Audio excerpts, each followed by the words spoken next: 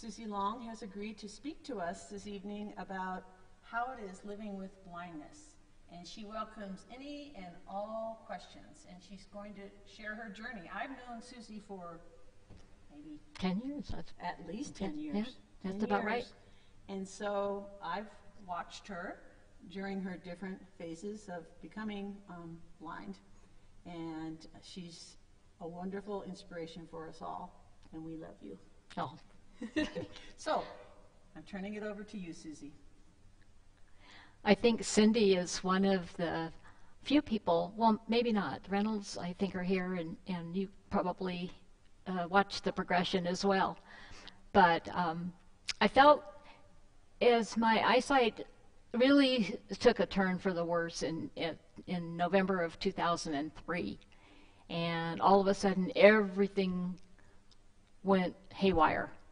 And the day after Thanksgiving, I uh, was in my doctor's office, and he said, "I, I've never seen anything like this.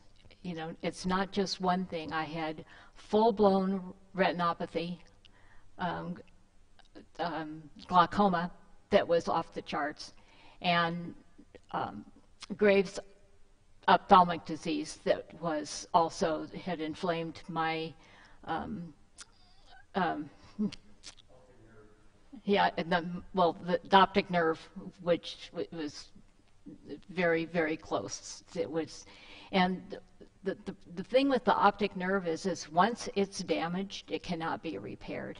If you, um, uh, once you go that far, it's a point of no return. So my ophthalmologist, I had a team of them, and they were all specializing their own little niche, and they were amazing. I felt like Humpty Dumpty. They would put me back together again, and then something else would go wrong, and they'd put me back together again. So even as being a diabetic for now 55 years, um, the diabetes was really not the cause of any of the issues that I have, but it certainly didn't help any of the issues that I had as well. So the doctors um, would, you know, as a diabetic, I've been hearing this since I was 17 and a half, you know, you watch for cardiac issues, you watch for kidney issues, you watch for liver issues, you watch for eye issues. But uh, it never occurred to me that something would happen to my eyes because I'd go in faithfully for my exams every year, and the doctors would say, "There's no sign of diabetes. It's amazing. No, how long have you been diabetic? No signs."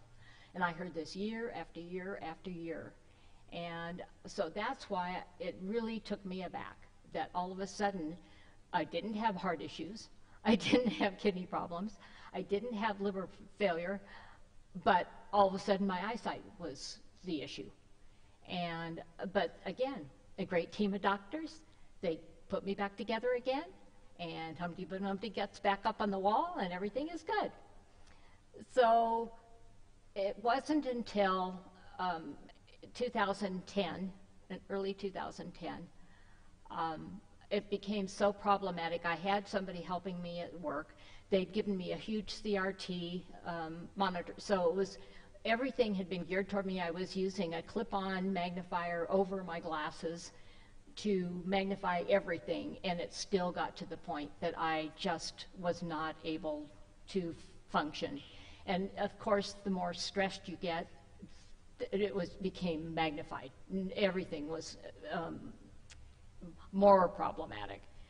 So in 2010, um, our doctors had decided to um, outsource their billing, and I was working in a billing office and had been doing it for 24 years. I loved it, and I thought I would do this as as long as I possibly could. And we finally got to the point where I no longer could do it, and um, so at- at the at that point in time, I decided the best option for me was to take a retirement, and um, that's what I did. And at that point, we had started our big classes here, and um, it was it, it was amazing. Um, I, you know, for, for for my entire life, I, you know, was baptized as an infant, and um, I knew that God was in our corner. He, he's he's his in all of our corners. And uh, you say the Lord's Prayer, and every day you, when you say it, you say, Thy will be done. And I figured, He's not going to give me something that I can't handle. With Him, I know I can handle it. And so that's the way I kind of approached it. I never really went through a period where I was angry, frustrated, yes, but not not angry. Um, you, you don't want to, you know, use positive energy and and let it drain. So don't focus on the negative. You just focus on the positive. What what can you do? And Christy had suggested that I, you know, investigate getting an eye, uh, uh, uh, guide dog as my vision was getting more and more problematic. I, um, I voluntarily gave up my driver's license in, in 2010, and that was probably a good thing. Um, I, you know, when you do that and you're, you're not, you know, I was only 63 years old, I, I felt like, oh man, I, was expecting to take grandkids and go do stuff and, you know, just grandkids and me and, and all of that and all that, that immediately went away. And, um, but now Katie has her driver's license, and so the things that, that we were planning to do, uh, that I was going to be the driver, now Katie has, has promised me that she will be our driver, and we will go do girl things, and, um, and then Brady will, of course, have to tag along. But it's, it's a different, it's a, it's different than, you know, you have visions of what you're going to do in your life and, and the different phases, and when you retire, what you're going to do. And um, one of those projects was going through boxes and boxes and boxes of pictures that are now in Christy's closets because I was going to, you know, finally do this, put, put them in an album, you know, organize them, go back and relive everything. That never happened. So when um, Bill and I, uh, I had actually started the guide dog training, and um, those of you that knew me, I walked with a cane at all, you know, at, at that point in time. And that was amazing because at least I wasn't tripping on stuff. I'd been known to do that a few times. And so, um, but the preparation for a guide dog, you have to, um, you have to know your territory. Bottom line, you got to know where you're going and how you're going to get there and what obstacles might be in the way and just be aware. And with a cane, you're able to do that. But what a cane does not do was, is tell you if a branch is hanging down, it's going to wipe you out. Um, I've been there, done that. Um, it doesn't tell you that there's a trailer hitch hanging out over the, the, dri- the driveway um, so that you're going to whack yourself on that. I've also done that. And canes are, are, are amazing, but a guide is um, trained to let you know when those kinds of obstacles are in the way. And so I also, um, what I have around my neck is my, my phone, which has navigational aids in it. And it also, because now as a diabetic, I'm on the Dexcom 24 hour monitor, and I have to keep the Dexcom device and my phone close together. So I just wear them around my neck because if I put them down, I'll never remember where they are, and I'll never find them, even if I remember. So that's, um, it's annoying, yes, when we're in church and it starts alarming because my sugars are too low, or, you know, it is, it's annoyance but it's the reality of my life. So you just deal with it. Um, having Joan has been amazing. I've had her now for four and a half years, and she is seven. And I just talked to Guide Dogs on, on Monday and had my annual phone interview. They used to come out and um, the first few years I had her and make sure that everything was going well. And now we're, we're on a phone basis, not and now also because of COVID, they're doing so much more remotely. But um, and when, when I talked to him the other day, I said, you know, I, I listened to the, the guide dog um, uh, webinars and phone um, seminars that they do, and, and I hear some of the other people that have guides. Um, Joan is my guide, I'm her handler. Um, and they are, they are amazing, the things that, that they do, and, I- and I, am I'm not wired that way. I, maybe they're a lot younger than I, but um, I've always said that I'm not as old as I think I am because you can't turn, train an old dog to do new tricks, and I'm retraining myself. Um, I never had a smartphone. I never thought I would have a need for a smartphone. But when I could no longer see a phone, uh, the smartphone's the only way to go. And it provides me um, uh, the, the navigational um, apps are, are amazing. And um, all the things that I use, I have very limited knowledge of it. I use exactly what I need to know, and I don't want to be confused with anything more.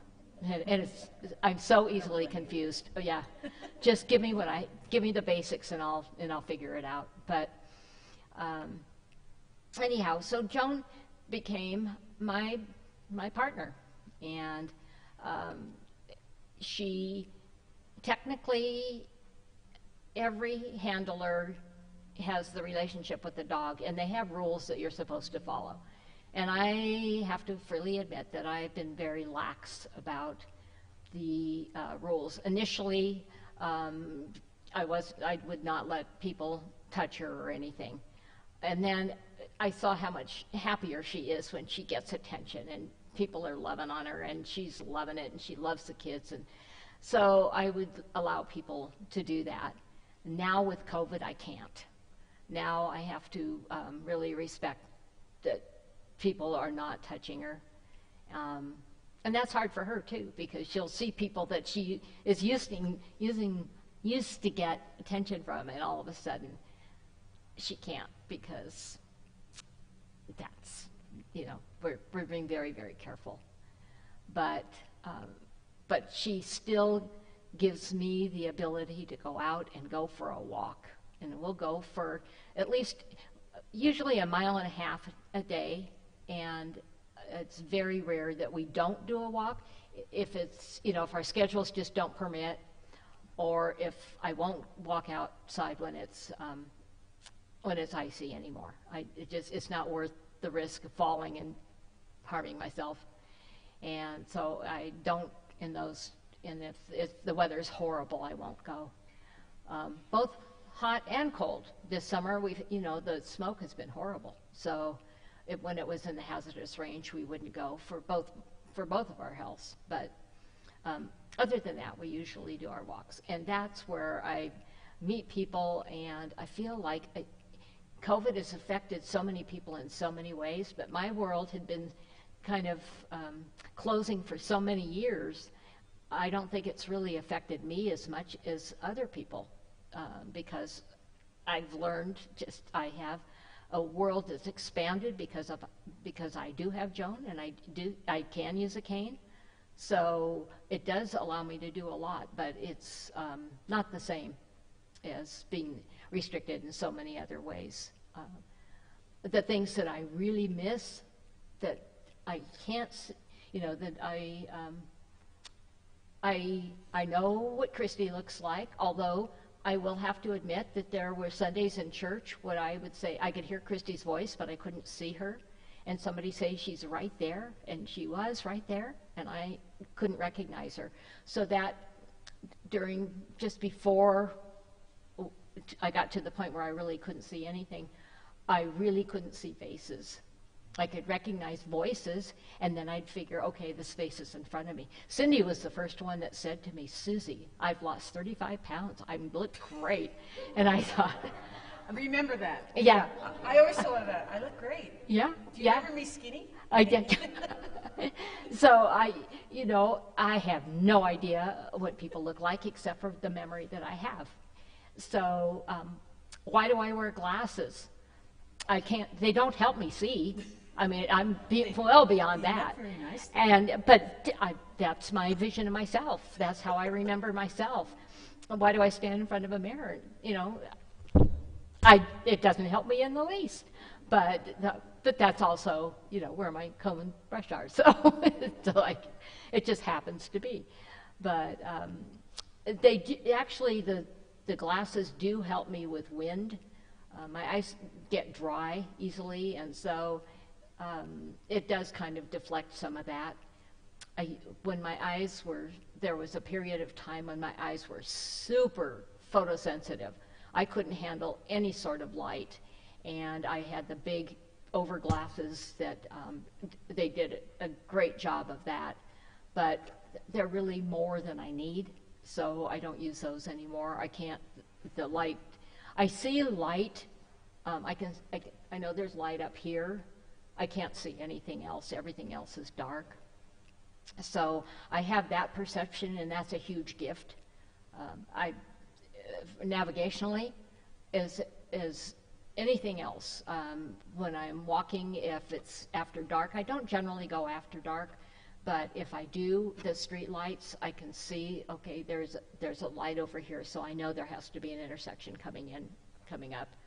If my phone weren't talking to me, which we went through a little bit of that. We had about three weeks where we didn't have our phones weren't working at all. So I was back to the basics, you know, counting steps and and um, hoping that Joan knew where we were and get hoping that nobody interrupted me so I knew which block I was on because they're all so similar. But you know, you just you learn to adapt. It's different. It's not it's not something to be oh, you know, how sad. It's too bad. I mean, I wouldn't have I wouldn't have said um, I'll sign up for Be Blind. It, that's okay. But there are so many other issues that people have, especially as we age, that you can't, you know, there are things that are far worse than having to learn how to do something new. And besides which, that keeps me younger, right? So um, I really don't, unless other people can think of questions, I think my journey has been one that um, I really think that if anybody were faced with the same challenges, they probably would approach it pretty much the same way. Either that or you just decide to give up, and I'm, I'm not willing to do that. So um, you deal with what you have, and you're thankful for the gifts that you do have. And I can still hear, so that's great. It's huge.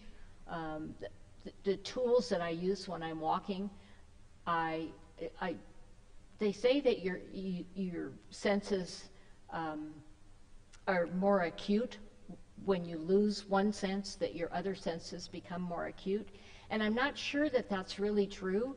But I will say that you do pay attention to the other senses that you have.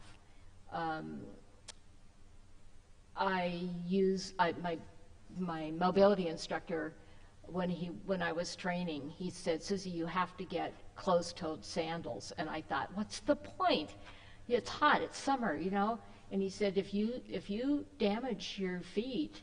He said, there's, there's a sense right there. And boy, did he hit the nail on the head if um, I, uh, the only time I wear open-toed shoes is coming to church, where I'm familiar with the territory. It's very rare that I'll wear open-toed toed shoes. Um, I'm sure a lot of you have seen the sandals that I wear, and they're closed. It doesn't do any good to have a pedicure because nobody sees my toes anyway because they're hidden by the shoes. But but they keep my toes safe. Even in the house, I don't go barefoot ever. I always have slippers on of some sort, some sort of shoe.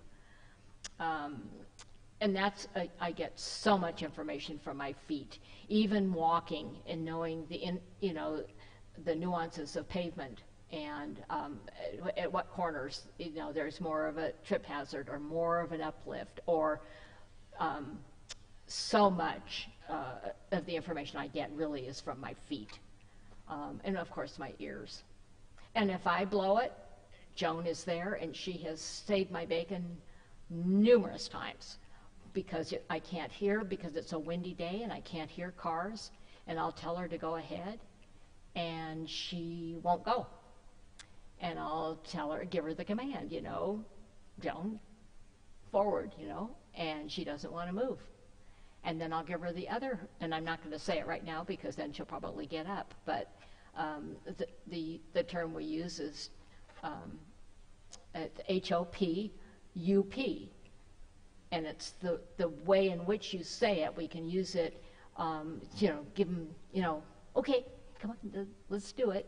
And then there's the, you know, let's go faster. So we'll go say it a little bit firmer. And then when she's distracted, then you use the, ah. You, you never yell. I never yell at her. I never, um, uh, I just don't. I mean, and, and that's the way we're, we are trained not to, to, to give them positive reinforcement, which is her food pouch, and I wear it ever, all the time. So when she's good and she's not asking for it, she will be rewarded. If she's not, then she won't. And if she's asking for it, I won't offer it. Somebody, and I don't know who it was, on Sunday came up to me, and I guess she was looking really cute. And he took my hand and he pointed, he put the hand, my hand on her head. And it's like, she's being really cute. And it's like, she doesn't get rewarded for being cute. She has, she has nothing to do with that. Or, you know, she had great parents, so that's all I can say. But, you know, her, uh, and I just found this out this week. Um, uh, one of at Guide Dogs, one of the the fellows that answers phones and gives all, so much support. Anyhow, and I knew that he had a puppy out of Joan's litter, but I didn't know. I hadn't talked to him since I knew that. So um, he happened to get the call that and when I called, and he said, "Did you say your dog's name is Joan?" And I said, "Yes." And he said, "Oh, my dog, dog's Jamari." And he said, and I said, they're in the same litter, right? And I, I said, um, y- the parents are Tenley and Kurt. And he said, yes. And so then I said, you probably know more than I do. Which dog is it? Because I knew she was half yellow lab and half golden retriever. But I never knew which parent was which. Now, in the scheme of things, that really doesn't make any difference. But I, I was curious. And he said, oh, Tenley actually is a, a, mix also. So she's half yellow lab, half golden retriever. So actually, Joni isn't really half and half. She's three quarters and one quarter. But she feels more like the three quarter. So, and, and when I feel, that, she feels to me more like a lab. But I understand that her, her coloring, she has that reddish tone, which would be the golden retriever quality. Super mellow. So, well, you've seen her. She's just a super mellow dog. She's probably at the bottom rung of a dog that they would accept for working because she is so mellow. Um, and, and sometimes that's actually more problematic. The dogs that have more energy are probably easier to walk with and to train than somebody like Joan that's like, whatever. But, but she is she is super mellow, but she is a super worker. I mean, this dog will point out every nuance in the. Um, she is trained to, to point out changes in pavement, and she does. She will pick it up, and even and because it we're in Nevada, they change all the time, and she'll point one out. It's like, yep, I would have tripped on that if she hadn't pointed it out. She points it out when we um, have DG that washes down from the the planters along the sides of the um, you know people's homes and so forth. Um, and so now we're going to be walking on something that's gritty, which also gets slippery. And she will point that out. And she points out um, if there are rocks in the way if, if I'm walking. She'll slow me down so that I, I probe with my foot and figure out what it is that she's stopping for. And then, okay, we're good. We can get around this. We can do it. Um, she's amazing that way. And as I said, the overheads when branches come down. When we're walking um, alongside the car in a parking lot, and uh, so I'm going to the front of the, the car to, to the if there's a curb or a, um, a walkway or anyway, um, she'll always slow me down if there's a um, mirror. Uh, trucks are notorious for having mirrors that stick out. She'll she'll stop me every time, say, "Mom," and I'll reach up. Sure enough, there's a, a mirror there that probably would have wiped me out. So she, and not all dogs are um, as attuned to that as she is. Where she is gifted in that area, she's probably not so gifted in other areas. But she's she's an amazing guide for me, and that's what Guide Dogs does. They they try to match the dogs with their new handler, and they really. Um, I, I'm just blessed to have her. And uh, the dog's working life usually it will go till they've been working around nine years is the magic number.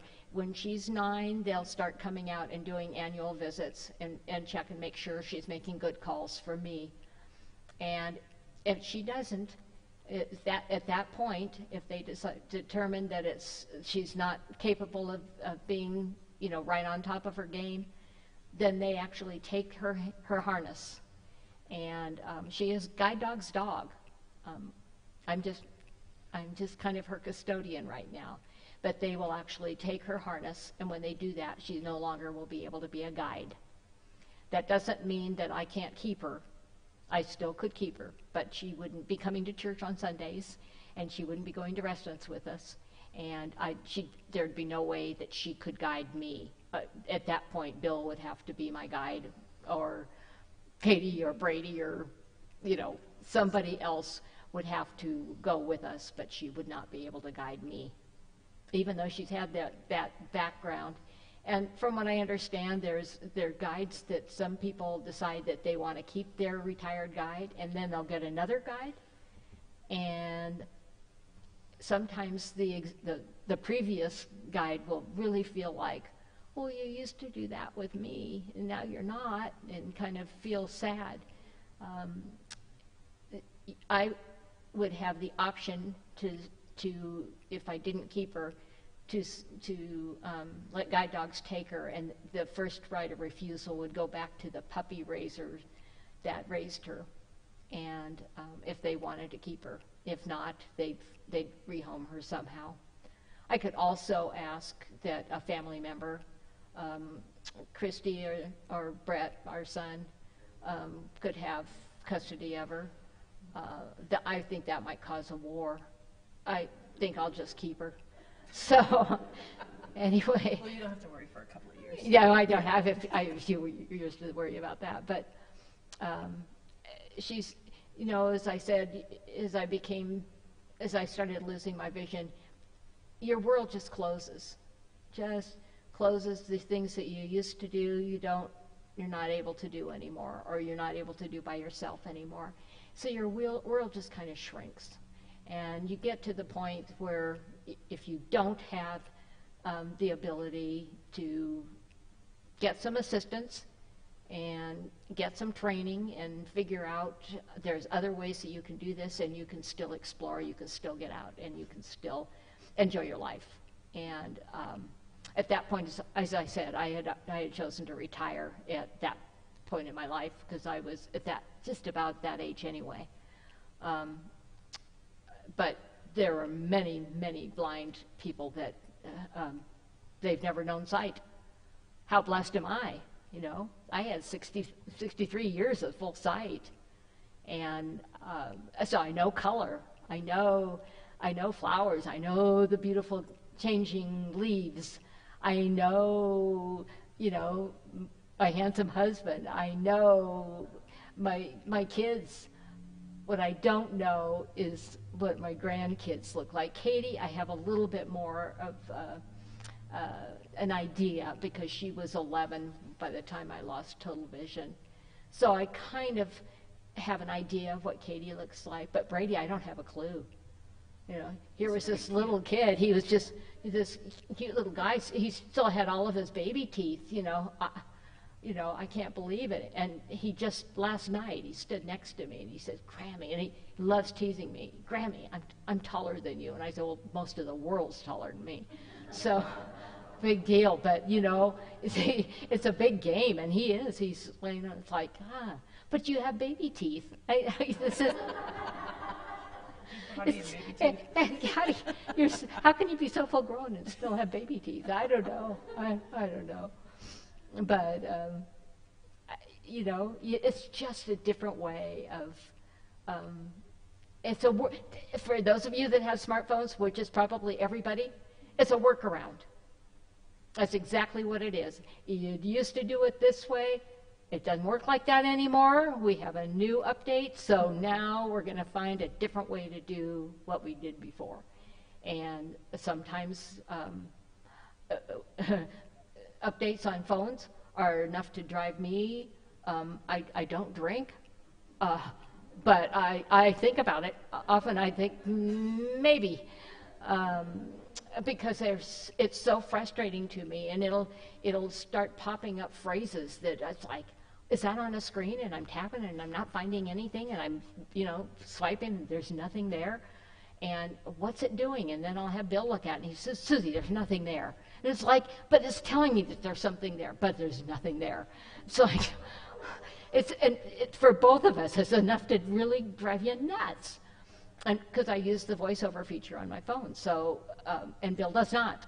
So um, the gestures are different, the everything is different. But um, bottom line is, it's like, well, I don't know what it's doing. Well, that's that's code for I'm frustrated too, so just leave me alone. So okay. But um, anyhow, I don't know. As I I started Yes, that's my question.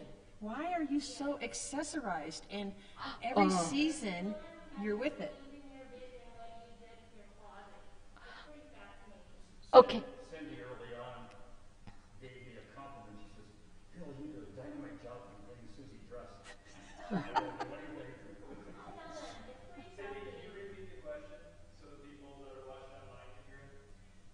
The question is, why is Susie always matching and she goes with the seasons? Her hair is perfect. She's accessorized. What did you do? Well, hairstyle is the same hairstyle I've had for eons, so that's just it's just habit. Um, for um, you know clothes, um, I happen to have a daughter that picks out great tops for me. So, and a granddaughter that actually has taken me shopping and, and helped Grampy um, pick out which is really the best pair of pants. Grampy, you have to try on the tops and the bottoms because until you try it on, you don't really know the best one. So, okay, so that's painful for Bill, but Katie, it's great for Katie, and it's great for me. But when I when I organized our, my closet, because I had a plethora of clothes um, for you know because we have four seasons. Well, sometimes we have four seasons. So anyway, so I, I have one side of my closet has my spring and summer s- clothes in it, and the other side has my fall and winter clothes. And then, of course, you have your basic black, which is going to go wherever. It's going to go whatever. But you just remember, for me, everything is by color kind of grouped together. And then I always put the, the clothes that I've had first will be in- in the, at the front or the back, whichever way I'm going. Um, and then as I add new clothes, I add it to the opposite, whoops, opposite end. Um, so that um, chronologically in my own mind, I know, well, I bought this outfit first, so this has to be with it. And I group everything together as a, as a group. And then if I decide that I want to wear that top with something else, I know where I'm going to find it. Bill is not, Bill does all of the laundry. And um, I don't spot very well. I, I- never get spots because if I don't see them, they don't exist. So anyway, so uh, Bill, Yeah. That's true. You I have to- do the laundry. So just on Sunday, I said I was having him help me because taking fur off of clothes is really hard for me because I can't feel it at all. And so, um, so I'll have Bill do it. And so on Sunday, he's sitting there watching the game and trying to take the, you know, in my dark brown pants and taking the fur off. And finally, he looked and he said, "Susie, these these have dirt all over them." And I'm thinking, well, I wouldn't have known. So you obviously told me they were good, and I, I don't know how I got that dirty. We're not even eating snacks at church anymore, so I can't blame it on that.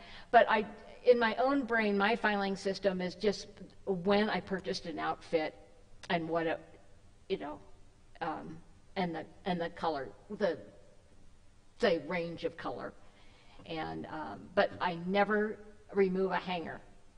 I always leave the hanger in the closet and take the clothes off of the hanger. So if you really, really want to just put me over the edge, do two loads of laundry together and give me too many clothes to put away. And by the time I'm through, I'm literally, seriously, at the point of tears. It just is more than my feeble brain can put all together. So one load laundry at a time. I have an idea of what I've got. I know where to find the hanger. That's good. If you start piling, and I do the same thing.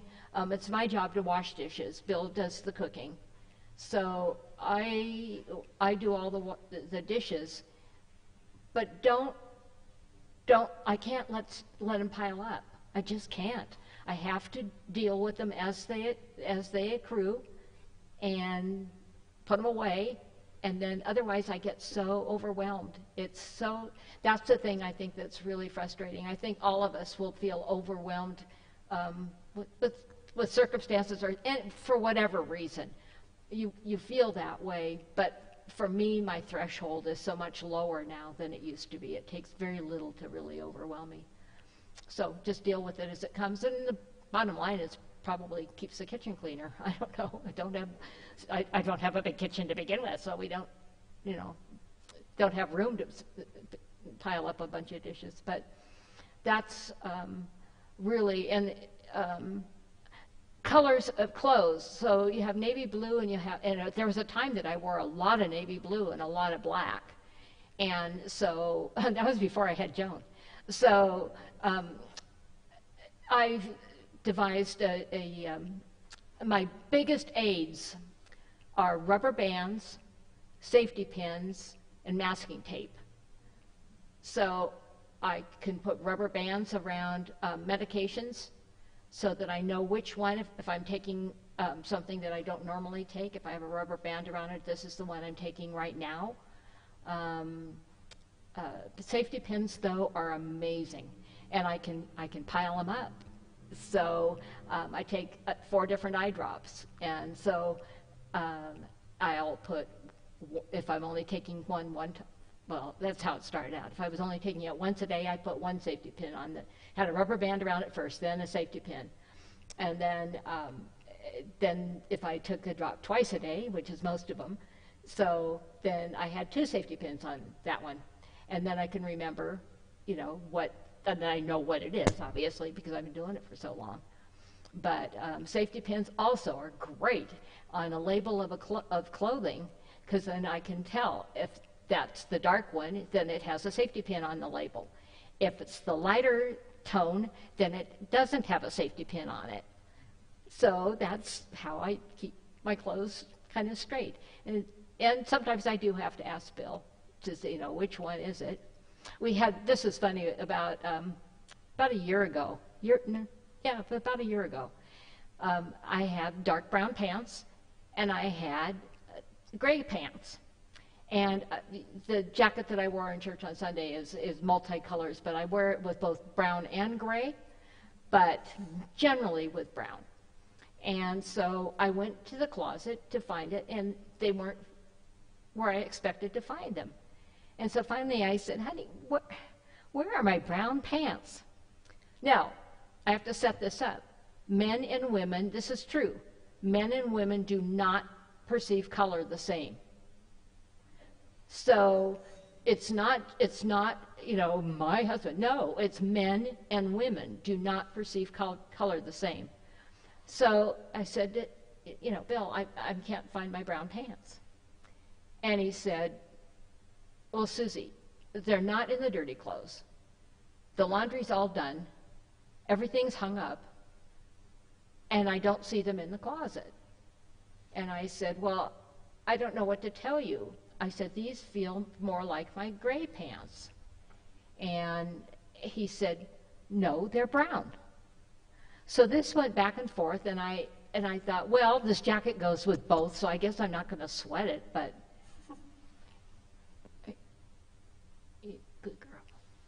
Um, anyway, so about, about a week later, he's doing the laundry. And he, he said, Susie, I figured out the mystery of the brown pants. I said, well, what do, you, what do you mean? And he said, they were in the dirty clothes, but they were down at the very, very bottom where I didn't see them. They had other stuff in the way, and he said, I didn't see them. The mystery of the brown pants, and I, can you see the difference between the dark brown and the gray? And it's like, well, I guess, I guess when they're side by side, you can. And it's like, ah, ah. Because so many of my pants are the same manufacturer, you can't, uh, you can't tell. But, you know, some of them are different, but you just pay attention to the waistbands on stuff and which ones have a phony waistband and which ones, you know, have just elastic or whatever. And then you just have to remember.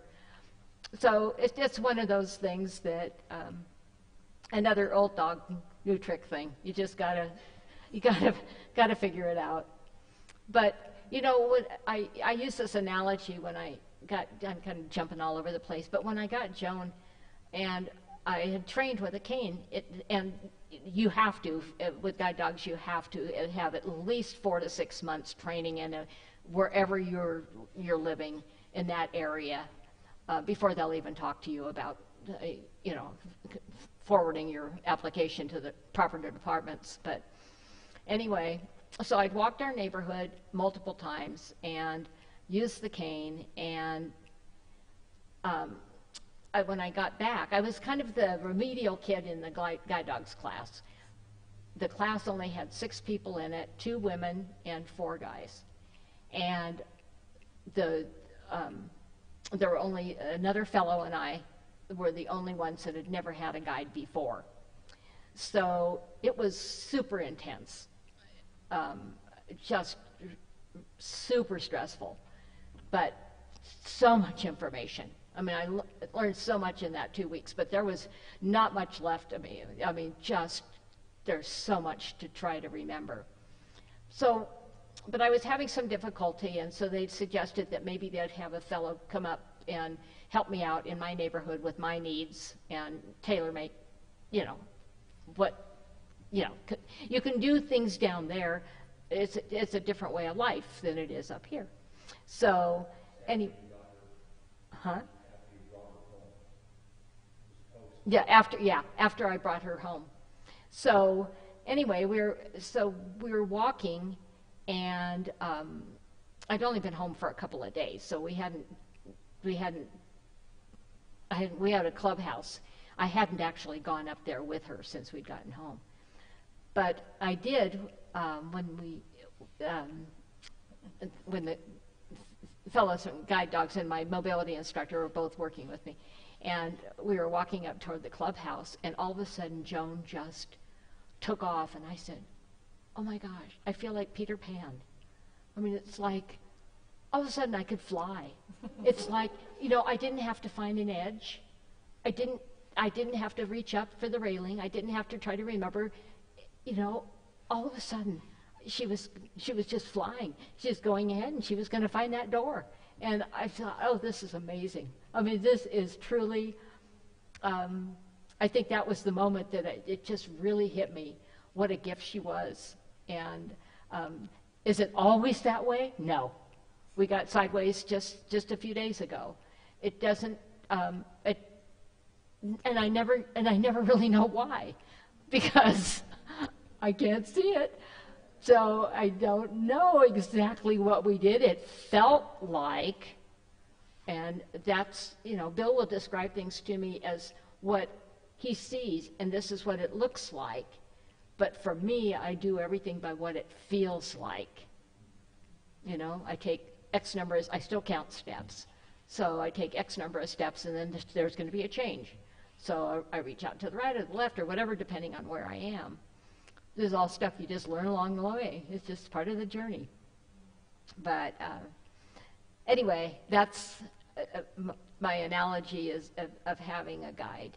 And at the time that, you know, she's taken out of service and I don't have her, I honestly don't think I have it in me to go back and get another one. Um, it takes time to train them as well. They are trained, they know the commands, the basic commands, but they do not know your neighborhood. They do not know where you're going to go. And when I walk her, I, I very rarely use the same route. I'll shake it up one, just even if it's just a little bit. I'll shake it up all the time to keep her sharp so that she's not just assuming that we're going here, and we're not. And um, so different times of day, different light, different, um, just different everything.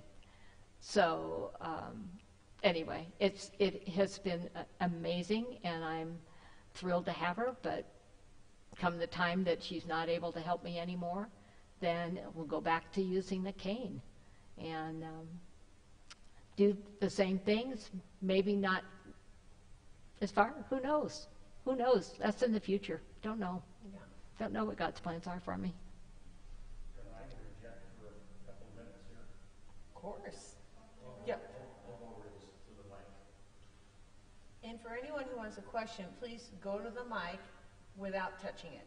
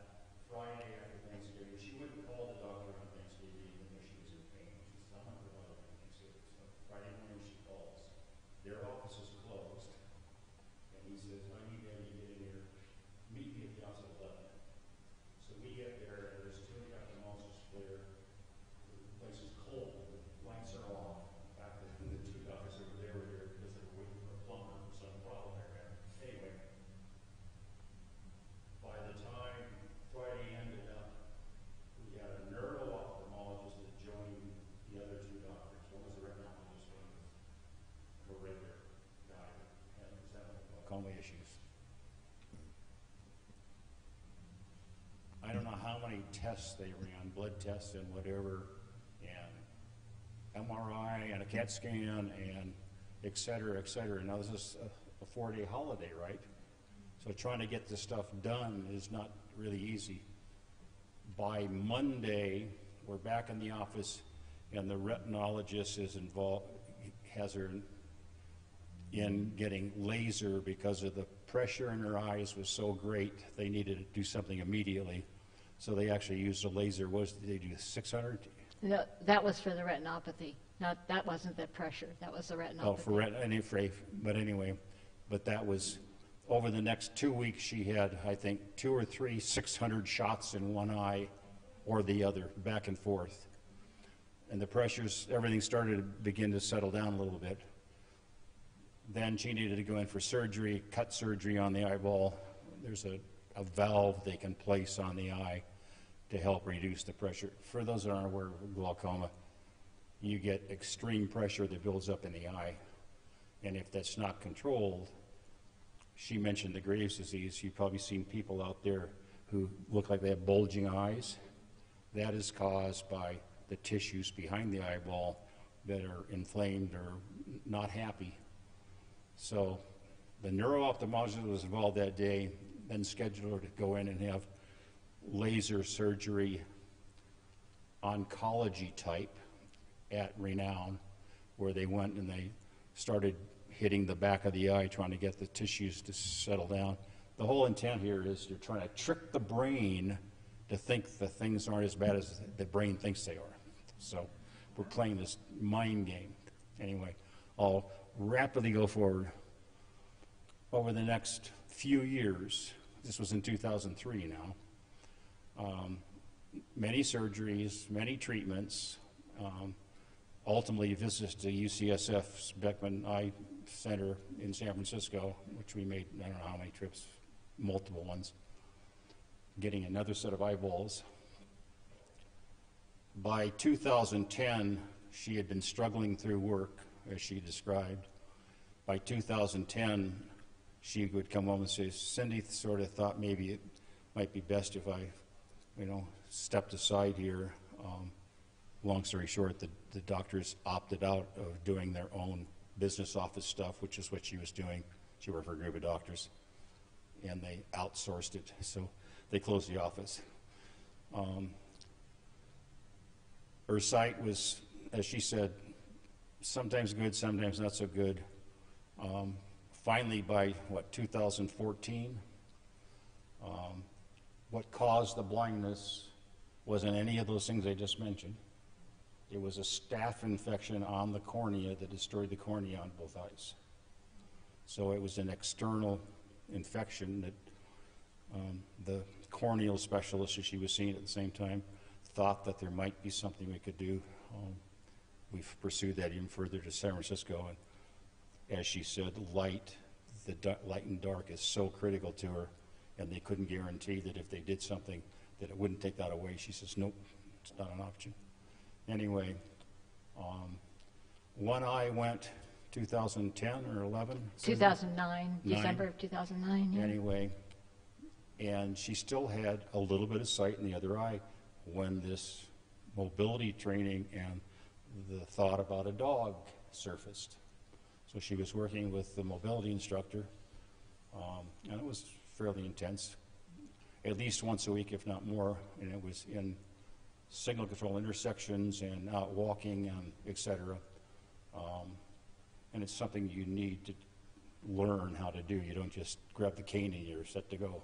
Anyway, um, there's been a couple of times when I've gone to things and they blindfold me and they say, okay, do this now. I've been watching her do it, but I couldn't do it myself. Anyway, um, she was in the throes of the dog. We, they finally got through the mobility thing, made the application to guide dogs, and it's not a simple process. This is over a period of a year plus time. They finally accepted her.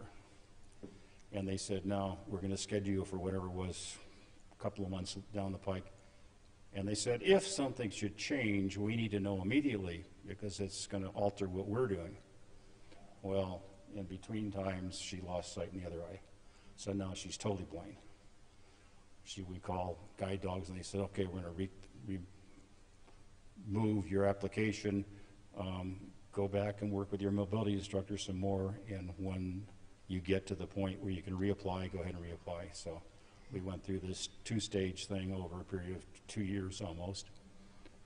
And when they finally accepted her, scheduled, as she said, it was an intense thing. I took her down on Sunday, It happened to be Valentine's Day was the following Sunday, but um, dropped her off at Guide Dogs is in San Rafael.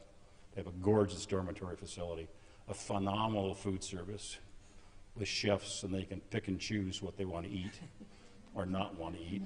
Anyway, um, but she should have told you about. Why don't you tell everybody the day that they brought Sunday, I dropped her off. Monday is when they're introduced to the dog. So tell them about the, that introduction, because you Yeah. experienced that. I wasn't there. So um, Sunday, they, they purposely don't give you the dog right away because they have, when they, during the application process, they're ma- taking videos of you, see how you move, because everybody is different. And they, when you get down there, they want to see how you navigate without a guide and um, make sure that the, the guide that they have picked out for you is really going to be a good match. So, um, and, and I'll back up just, just a little bit. I, sh- I should have mentioned it earlier. Um, during this application time, just prior to the time I went down for my training, um, the gal that was going to be my trainer called and had, we had long, uh, at least an hour, hour and a half interviews by phone. And she said, you know, we have a dog that was previously placed with another handler and after, after seven months was returned to guide dogs. They never, to this day, I have no idea why she was returned to them. But for whatever reason, it wasn't a good match. And so they put her through her paces yet again. So I'm thinking, here are these dogs, these darling little puppies that have their, their first home, they're birthed at guide dogs. And then they are adopted by a family, by a puppy raiser. And they have that puppy raiser for about 14 to 16 months. And so they're all happy and everything's good. And all of a sudden they're taken away from the home and everybody that loves them and sent back to university. And so she um, had gone back for training and she went through all the training. And then they assigned her to a handler that's supposed to be her forever home. And all of a sudden, oh no, that's not her forever home anymore. So all I'm thinking about is this poor dog had no idea what, what sex it was, what color, what breed. I mean, I knew it would be a lab or a golden retriever or a cross because that's all the guide dogs uses. But other than that, I had no specifics. But all I could think about was this poor puppy. You know, oh my goodness, how can you have so many homes? And so they asked if I had any objections, if I would, you know, would mind having a dog that had been previously placed. And I, I said, oh, I don't think so. You know, I, I, yeah, I I said, you guys are in the business of matching people, so you're going to have to make that decision because I, I really, I've never, this is my first time around. I don't know. And so they said, okay, well, we'll um, keep that in mind. And then I didn't know anything more. And so the first, as I said, the first 24 hours, they're just watching to make sure that the, what the dog they have in mind for you is going to be the right one. And they have about 250 dogs on hand at all times to be able to, to choose from. So they had chosen Joan for me, and they had us go back after lunch. We went back to our rooms and waited.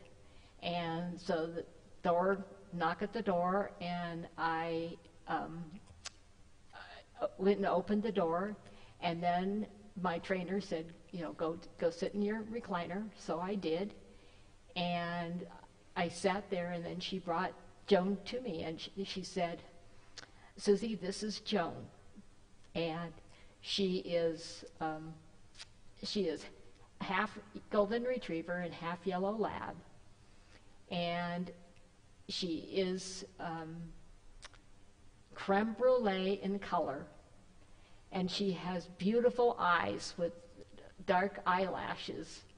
It looks like she has mascara on.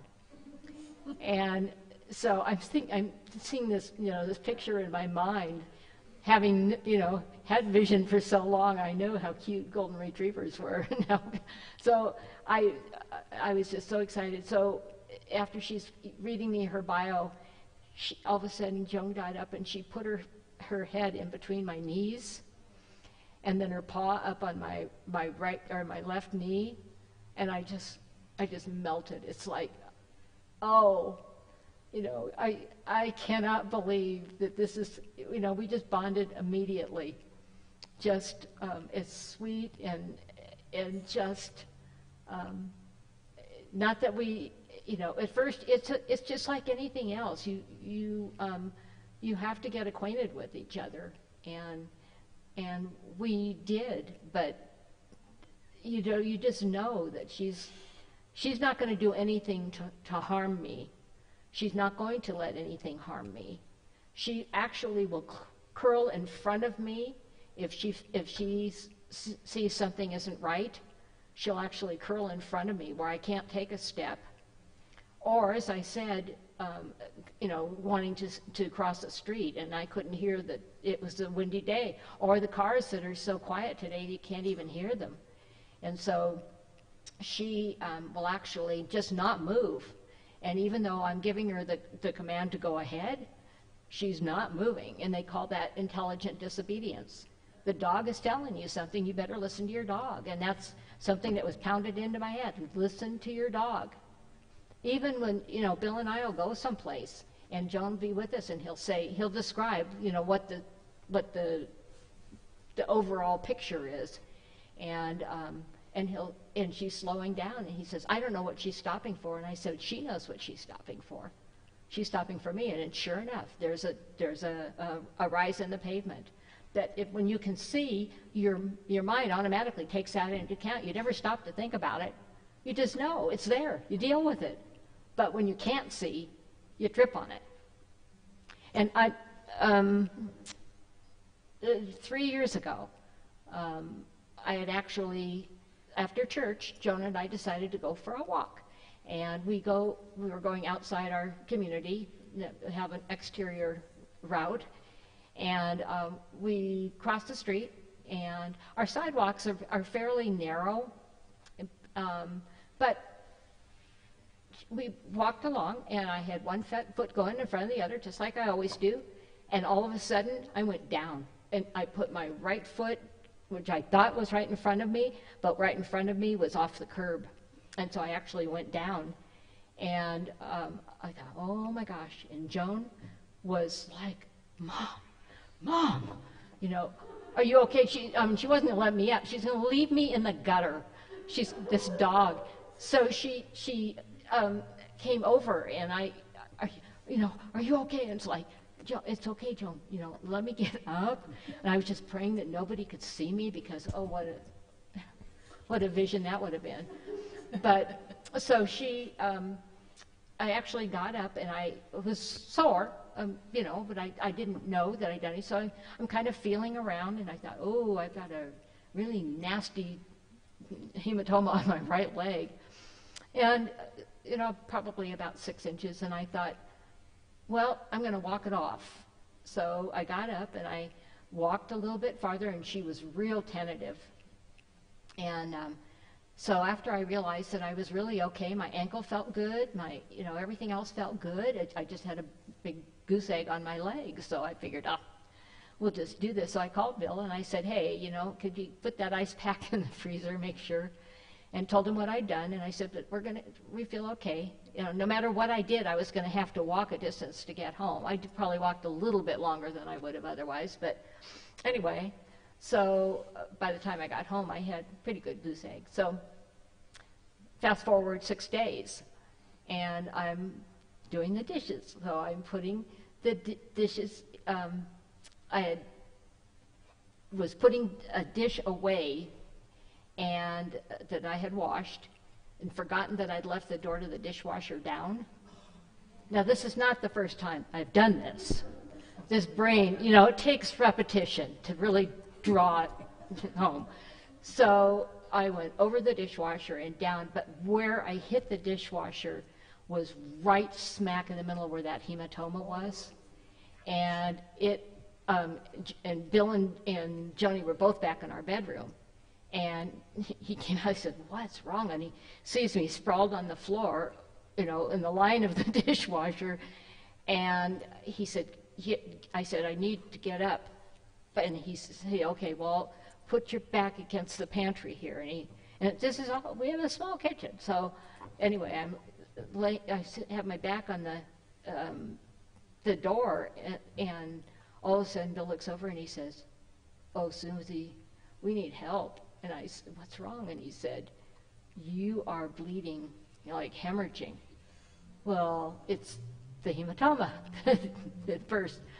So, um, anyway, that was a journey, and, and some of you that were here know that that was, you know, the um, and I were partners for about four months, and uh, luckily everything it turned out okay. It didn't have to have. It could have been a much worse sense, uh, scenario, but anyway, from that point, um, the doctors are telling me you, you need to allow your leg to heal. You know, you can't be doing your long walks. You can't be doing short walks. You can't. We can let you walk 10 minutes a day. That's it. And I'm used to going for you know 45 minutes to an hour, hour and a half. So. Um, 10 minutes seemed like it takes me longer than that to get my gear on and her gear on to go for a walk. So this is really uh, not what I had anticipated. But um, during that period of time, finally got my leg healed and we were able to walk again. It was a long time going to that, that crossing that was right after we had crossed the street. And every time we went by there, she was super careful. I mean, just, we're really not going to allow anything to happen. And that's her job, is to keep me safe. And I, to this day, I have no clue whether she, it was her error or mine. It really doesn't make any difference. Bottom line is, it happened, but she was so sensitive that, and, and continued to be, and still is in many, many ways. Um, she will show me things that maybe she doesn't have to, but she does. And uh, like shadows or leaves. yeah, oh yeah, it makes a huge difference. Seeing seeing upheavals in the pavement vary with the light. So if the lights, you know, if if you're walking at night, you can't see it at all. If you're walking during the day, it depends on how the light's hitting it as to whether she's going to see it. But this is exactly, it all goes back to the training and, and knowing, you know, where there's a possibility of having upheavals and, and where there isn't. One day I was walking, um, this is about two years ago, two and a half years ago, and we were going up South DeAndrea, uh, Gino Martini, and we were walking up the hill, and all of a sudden she stops. What the heck? We're just walking up the hill. My traffic's on my left. We're walking up, we're going, all right, why are you stopped? And she was not going to go.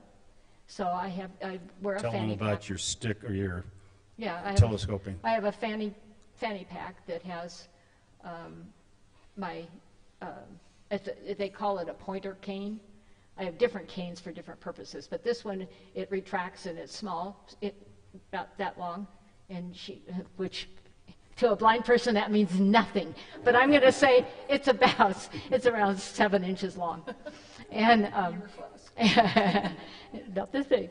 So um, anyway, and it retracts, and it's not designed to put any weight on it at all, but just for, for you to be able to identify what is that, is how deep is the, this curb, how deep is, is the snow that you're stepping into, um, you know, just what is on my left, what's on my right, is it a driveway or is it a curb? Um, what type of, you know, am I hitting snow or am I, hit, am I hitting DG? I mean, it gives you a lot of information. And it's very compact and you can just fold it up and put it away. So it's a, a great little tool to have. But um, I can't remember where I was headed with that one. Oh, Why did she You were going to describe. Oh, that day. So yeah. So I, I was start. I was getting my um, my cane out, and all of a sudden I hear this man, a Hispanic accent, "Ma'am, ma'am," and I, I said, "What's what's wrong?" And he said, "Ma'am, we've just cut out the sidewalk here." And so, so they, Bill had said they'd had for for what a week or something before that they'd had caution tape and all that. Well, Does that pa- help a painted- blind person? They painted the, the pavement first, and then they went in and put the caution tape up, and then they took out the concrete. Now, caution tape's great if you can see it, but if you can't see it, it's of no value.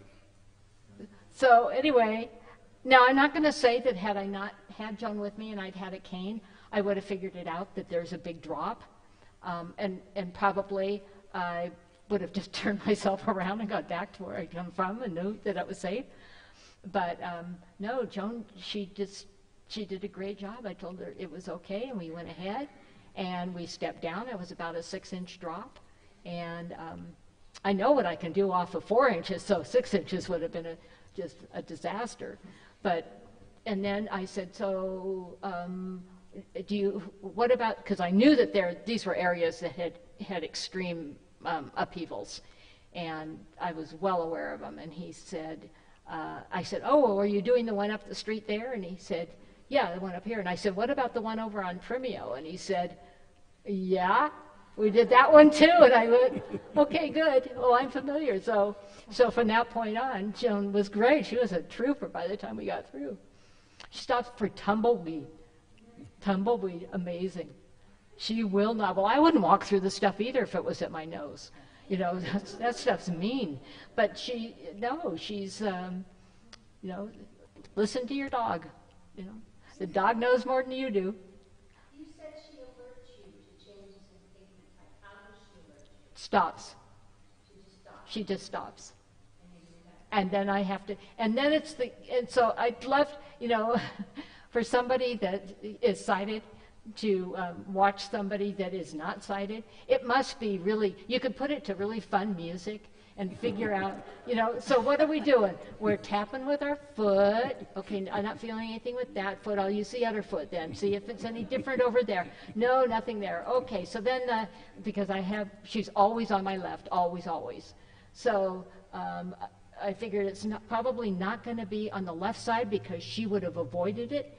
But so it's got to be the right hand. So you're okay. So I'm reaching over here, up here, and then she'll inch forward like a, in a couple of inches, and it's like, no, no, no, it's okay, Joan.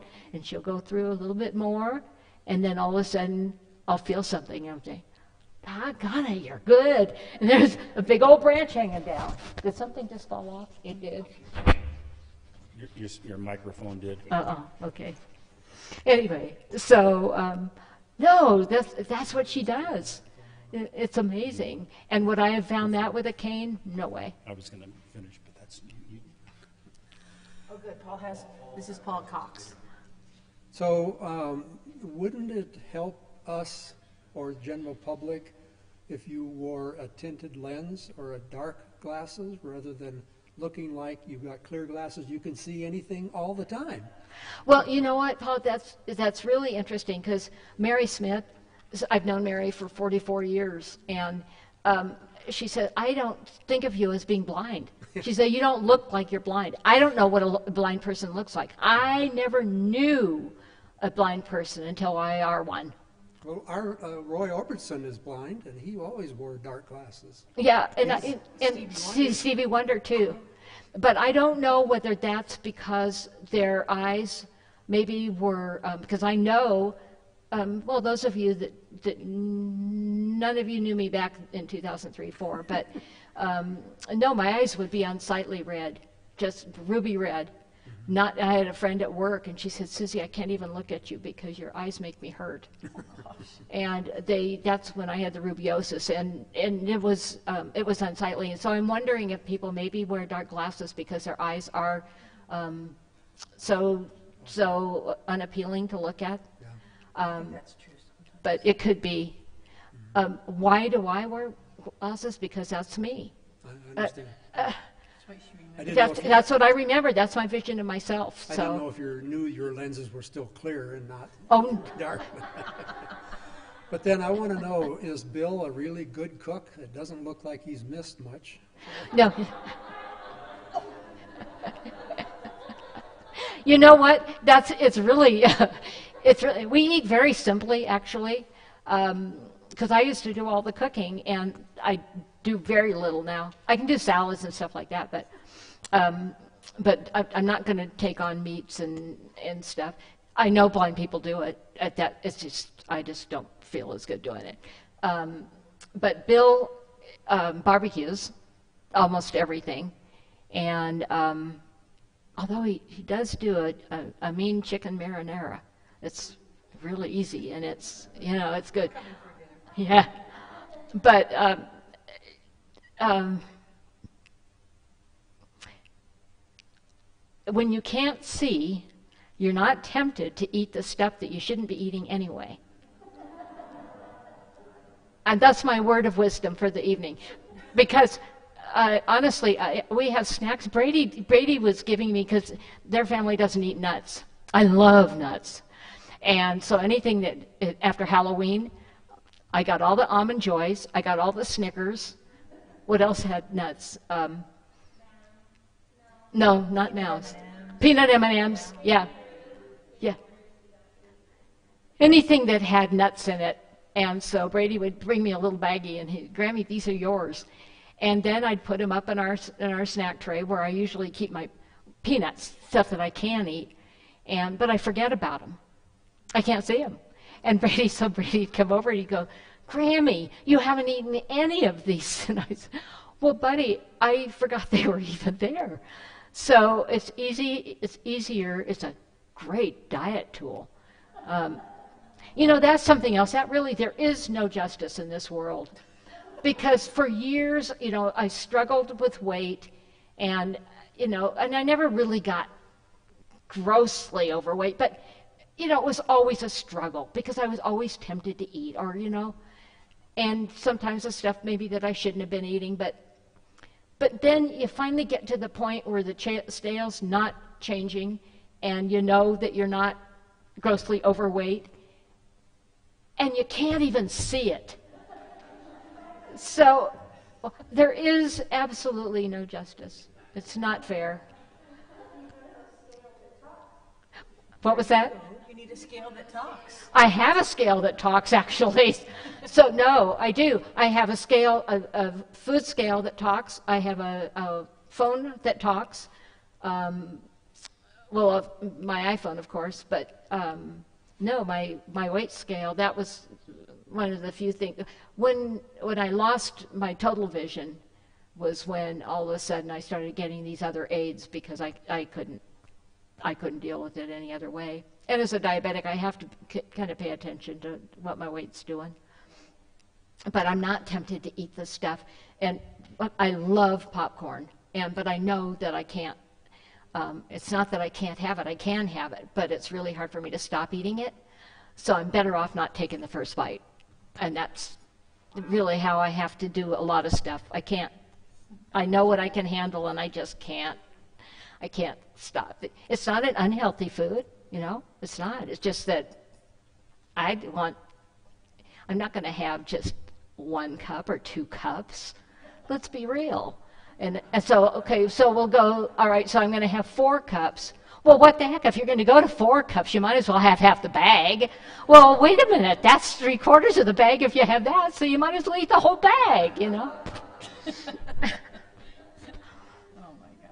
Do you No. ever experience, uh, like on the commercials, they talk about um, people that are blind and about the day and night thing? Oh yeah, sleeping. Um, no, because I still I still see light. I think that's probably part of it. Um, so I I am, and it's actually really easy.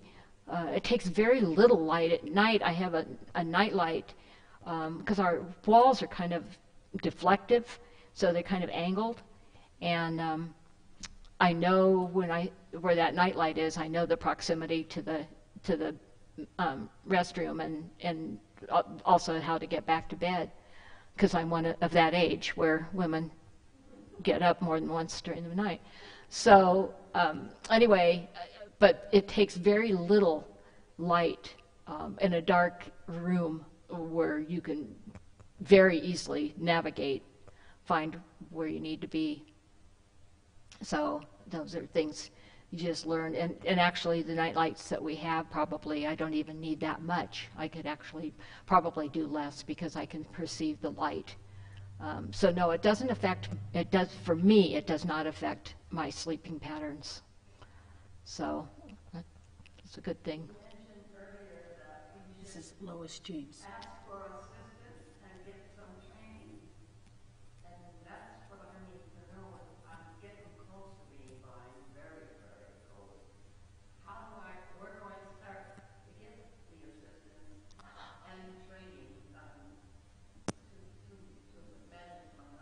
Oh my goodness.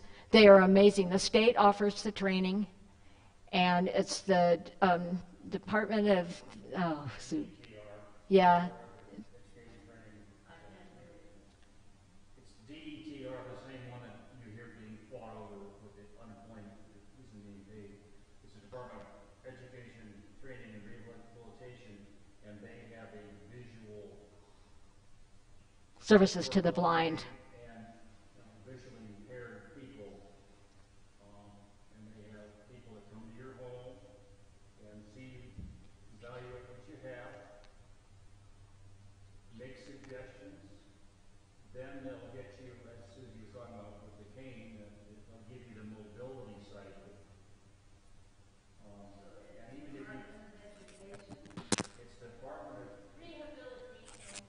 it's DETR is the department within the state. DETR, yes.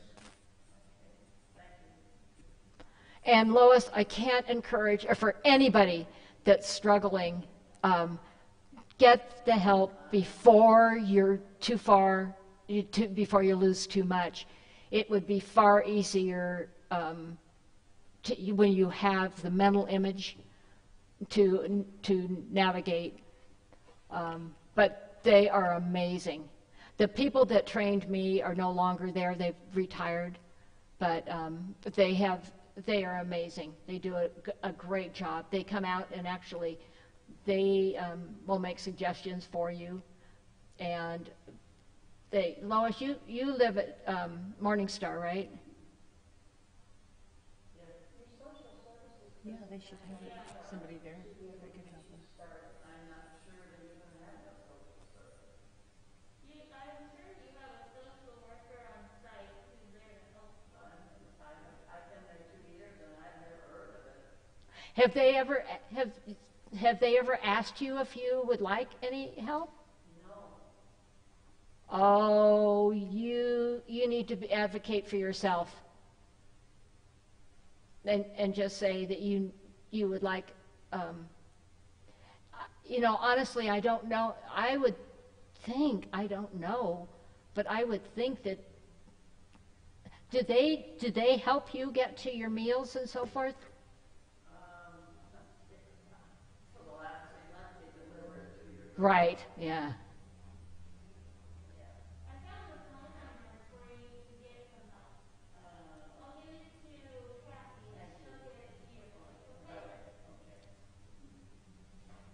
Christy's could give the phone number to Kathy Gray, who brought her tonight. Great, okay. I wrote down that information, yeah. while everybody's doing whatever they're doing, one of the big challenges that we have in our house is everything needs to always be in exactly the same place at all times. And if it isn't, I hear about it. Where did you put it? Or, and I do it, but not as much as I used to do it, where she'll be talking to somebody and they'll say, it's right over there. As if she would know where right over there is um, or th- those very nebulous comments that to a blind person have no validity. They don't know what that is. Anyway, um, huh? Yeah, yeah. How, how big is it? I don't know about that big. anyway, um, she was talking about her her apparel the stuff in the drawer, she has some things are folded facing one way, and some are folded facing the other way, so she knows which are long sleeve or short sleeve, or you know, summer or winter or whatever they are. Her jewelry is in a jewelry box, and she knows. Once in a while, she'll ask. She says, "Are these?" But normally, she just, you know, like Cindy said, "You do such a great job of dressing." no, I know. Tonight I did have to help her hook her. She's got a thing around her neck that matches her, um, a necklace that matches her, her ear. Anyway, and she couldn't get the thing that's hooked. Yeah, I don't know what's going on. Because I have Anyway, a daughter that we have the things that we, that are sighted, just do in, in the normal course of things. I have become well educated on what to do. And example, when Cindy was walking her up here, when I do that, I will sit there and say, there's a step in five feet or three feet or two feet or whatever. And when she gets close, I'll say, kick out, so she can touch it and know it's there. Um, Pastor, when we came in, tried to open the door for her. That's really not a good idea for a blind person for two reasons. One, if they have a guide, the guide is, by training, wants to be on the side opposite the hinge of the door. And if there's, you know, two doors, then they're going to go to the one where, if, when they go through it, they're going to be in the middle of the doorway. Um, anyway, and because sh- the dog's on the left, it's normally the right fly of the door. Um, so if somebody, and we see it all the time, trying to you know, reach out and be helpful. I mean, that's our, our nature. You know, let me help you. Let me help you. For a blind person, it shouldn't be that way. It should be, ma'am, may I be of assistance? Let the blind person tell you if they need the help versus you taking it upon yourself to jump on it. Um, and Pastor opened the door for when that happens. One, Joni's confused because that's not how it normally works. Two, Susie's confused because she needs something tactile. And if a door is open, there's nothing tactile now. Um, so if she can reach the door and then open it, then she knows, okay, I got to have Joni on this side or that side. And if you watch her, she'll sit there and say, Joni over here, because Joni's always over here. But if are hinges over there, she'll, example, when you go out the door by Marilyn's desk, she needs to be on her right because the hinge is on the left. Anyway, um, I mean, there's all kinds of those nuances, if you want to call it that. Um, what am I forgetting? Just don't know many of them. Well, I think it's hard for all of us, when you see somebody with a disability, to know um, What to do? It's counterintuitive. Right, like, you wanna, your natural, Yep. yes, Yep. to help them, but you're saying it's The, not the- the statement that I've helpful. heard from a lot of, not just blind, whatever, Mm-hmm. treat me like I'm normal. Okay? Don't try to treat me as if there's something wrong with me. Uh, you would go to a restaurant and, um, well, first of all, we're not doing a lot of restaurants, and pretty much where we go is, I know exactly what I'm going to have, but um, they'll talk to Bill, and they'll say, you know, like, yeah, would she like it? It's like, I, there's nothing wrong with my ears. I, I, Or I, my I stomach. can hear just Or my great. taste buds. And it, exactly, and, and, and another one of my favorite mottos is if I can't see food, I eat it. I will. I, I, it, you've watched me. You've watched me when we had snacks. There wasn't anything left on those plates. I use my little finger and I make The sure. finger there's sweep is much more efficient than anything left. we do with a fork. Yeah. But, um, no, that's true, and I think, I think it, in general, um, and I'm speaking for myself, it's, it's, it's counterintuitive for you to watch somebody, you know, have more difficult time. You want, you just do it. You don't think, you know? And, um, but for somebody that's blind, um, you know, Bill, everyone, it happens here at church. Jump down. Down. Over here. Jump down. Good girl. You're being a good girl. Jump. Well, you know, that's interesting because she doesn't come to me. She'll go to Bill. Seriously. We've had some real, some real digestive issues with her.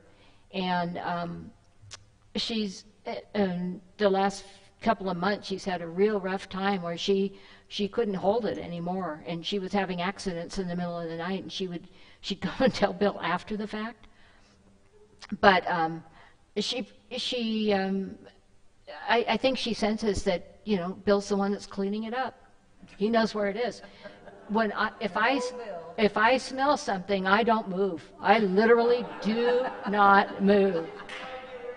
Oh my goodness. Oh, because I have no idea. I mean, I may have been lucky getting to that point, but, um, but I might not be so easy, lucky going back. So I just stop where I am and I just pray that my bladder's not overloaded because that's when you just, oh my goodness. Um, but she, it's really interesting. She does not come to me and tell me she needs to go out. We put her out on a regular basis, and that seems to be enough for her. But when her, oh, I think we finally got the winning combination with food, and we, so far, is this is wood. Um, it's plastic, but, plastic. yeah, oh well.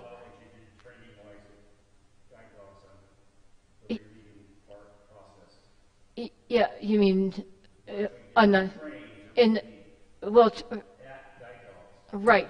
Well, the dogs, when, the dogs are trained to, to relieve on leash. And um, her leash actually is half of what it normally is. I can, I can extend it farther. And so uh, what you do is you, you allow the dog to circle around you. And then when they stop, then you follow the leash, find out where they are. And then you know and you feel the body position to figure out what they're doing. And if a bag is necessary, then you know you. Uh, somebody just asked me this today. How how do you know where you know where the mess is? And I said you follow where she's squatted, and then you uh, you plant your foot. You you choose which foot um, to where where there might be a deposit, and then you you pick it up, and then I at that point say say, say she has stopped. I'm hoping you can all see me, Lois. I apologize, but if she has stopped um, here, then more than likely nothing is going to be to the right. Everything is going to be to the left. So you find out where it is, and then you you work your way back, and you pick up as much as you can, or whatever.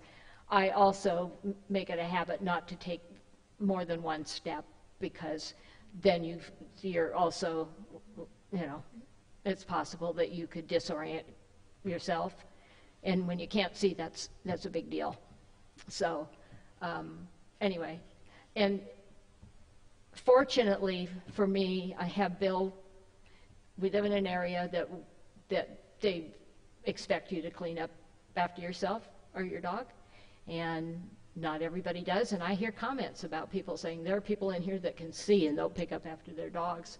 And I think, well, that's not the way we're trained, so we're going to pick up what we can. But I'm not going to say that I'm going to pick up everything that's there because there may be something that that's more. Or she, you know, she tends to be like a horse. Um, when she can't hold it, she'll drop as you as you go, and and I have no idea when that starts. I you know I can't tell. I can tell when she's ready to to stop. Um, I can tell by the motion of the handle. So um, I'll, s- I'll um, at that point just tell her to go ahead and do it, and then it will be done. And um, but that's you know, Bill can go, um, you know, make sure that it that we're leaving it in good stead. Why don't you fill me in on what the regular day was? You get up in the morning, Hold on just a minute, please. Pastor? Oh, I just had a question. Bill can keep going, but I was just claiming my place at the mic after him. Okay. so. When you were a guide dogs, you get up and what did you do with her first thing in the morning? First thing in the morning, she um, she got fed, and then we'd go straight outside, and um, again, everything was done on leash, and um, then she would she would relieve. Oh, okay. Well, then we'd go to breakfast, and then we'd finish breakfast, go back to the room, and get ready for our day's activities. We'd usually have about a half hour, 45 minutes worth of lecture, and then they'd take us out, and we had different, each day we did something different. They took us into downtown San Rafael and um, would walk us, and they would tell us, you know, what we were doing. Um, some of the routes that we did m- multiple times over that, most of the um, away from campus work, um, in downtown San Rafael was done the first week. And um, then we, they have a, they call it the downtown lodge. This is how, lounge. This is how, um, I don't know, uninformed I was, I guess. They said, you can go to the downtown lounge. And I'm thinking, I don't drink. I have no desire to go to a bar situation.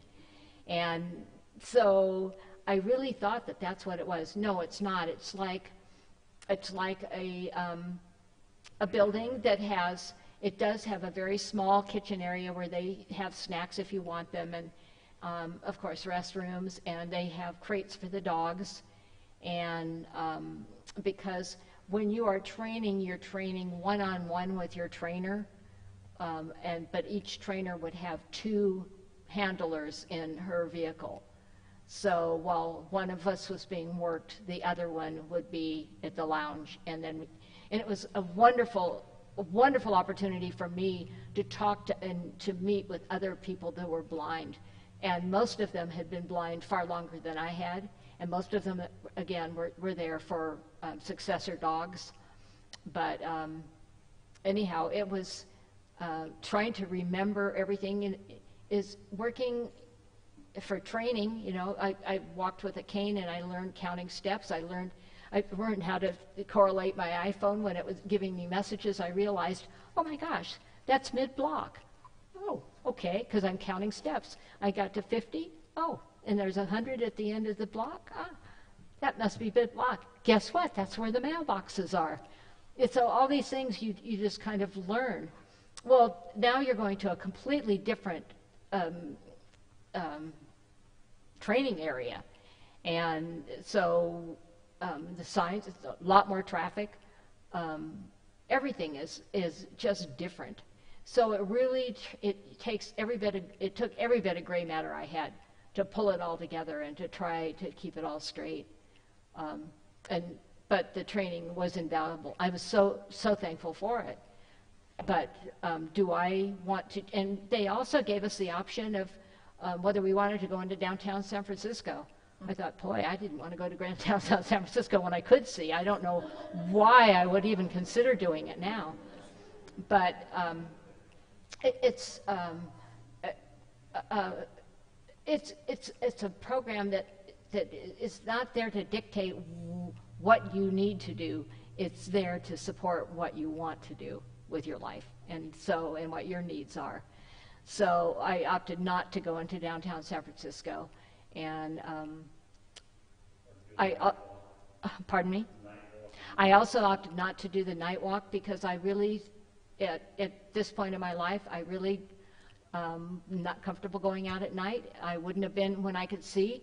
So why would I be doing it now? I do in our neighborhood actually because it is more protected. It's well lit and it's you know a bunch of over 55ers. So you know it's I feel I feel relatively safe there, and and I know that Bill's at home too. Um, if that weren't the case, I wouldn't be going out at night. No way. So um, so why do although walking in the summertime um, because it was so hot during the day. Uh, we were walking just at dusk, and we'd be back after dark. And it would, you know, that's the only time it was cool enough to do it. But um, anyhow, by the by the end of the day, after um, we had our morning workout, and then we would come back, um, and have lunch at at Guide Dogs, and then they'd take us for this for our afternoon exercises, whatever they were they were working on at that point in time um, everything that they did was super compressed time-wise. It's it was a 13-day program, and um, one of the gals, the, the other gal that was there with me, she was there for her sixth guide, and she said she had gone through training the first time. It was a four four-week training, and then, then she'd also been to the Oregon campus as well. And then she said then she also had dogs that would, she went for a three-week training and she said, um, and this is two weeks, but everybody that had, that all the fellows that were there too said, man, to do this in two weeks, it is really intense, brutally intense. It just, it, I was drained. So, um, but you know, it all comes back to you. And even the training that I had with, you know, my cane training here, uh, I still hear the voices of the people that were assisting me, giving me pointers along the way. And it's not that you'll encounter that scenario every single day, because that doesn't happen. But, um, but all of a sudden, this voice will come into your head and say, listen to your dog. You know, when I'm telling her to go ahead, it's okay, go ahead. She's not moving for a reason, so figure it out. And um, there was um, about a year and a half ago, I, she was not moving, and we'd had snow, but it was the sidewalks were fairly clear, and so I thought, well, it's warm enough outside. I'm not going to worry about falling at that point. So, um, but she was not moving. She just stopped. And I couldn't figure it out. So I put my hands down to try to figure it out. And I'm, I'm not feeling snow. So I thought, oh, okay, well, it feels like DG. But she wasn't moving. And I'm thinking, she walks through DG. It's okay. She knows, she points it out. She shows me it's there. So I know it's okay. But she wasn't moving. So I finally, I was really exasperated, and this is like a block from our house. So I finally called Bill and I said, I don't know why she is not moving, but she is absolutely not moving. And he came down and he, they poured rock salt all over him. What I was feeling is felt like DG was rock salt, and it's very caustic to dogs' paws. And so here I am trying to get her to walk through something, and her paws are burning. So she now has booties. Um, but I didn't know. And, you know, and I don't get down and feel with my hands very often. It's very rare that I'll do that. Um, normally I'll just kind of coax her through it and we'll just go very slowly. She's great about um, just slowing down. You know, if something's different, I'll just slow you down, Mom. We're doing this really slow. That's okay. That's okay. We're going to get through it. Good. Good job. Are you ready for another question? Sure. Okay, Pastor? Okay, I have two questions. You can pass if you want to. But earlier, when you were talking about sleeping, I was wondering what your dreams are like. You know you don't what? have to tell me if you don't want to, but no, no, no, just, no. Quite interesting because some people will say um, so much of what I, um, the way I perceive the world is my mental image of what everything was before I lost my vision. So somebody said, um, "Do you dream in color?" And I thought, I don't, I don't pay attention to my dreams.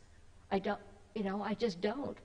But after having that question posed to me by a child, by the way, um, I uh, I started thinking about it, and every once in a while I do dream in color.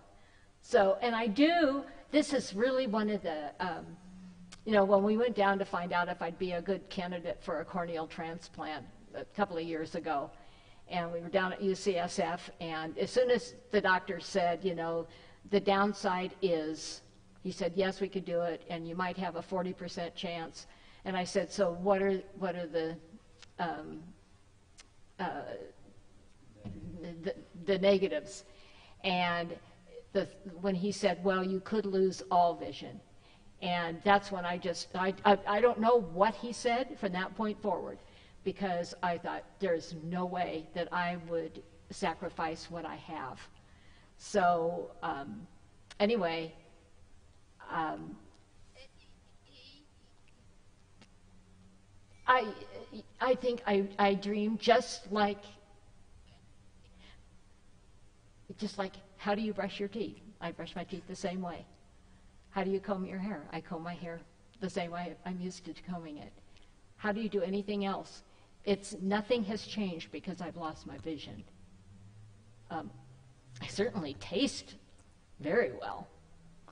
So um, I honestly, I, I can't answer it any better than that because I, um, I, I don't, that, other than the fact that I can't see, nothing about me really has changed. Our lives have certainly changed, you know?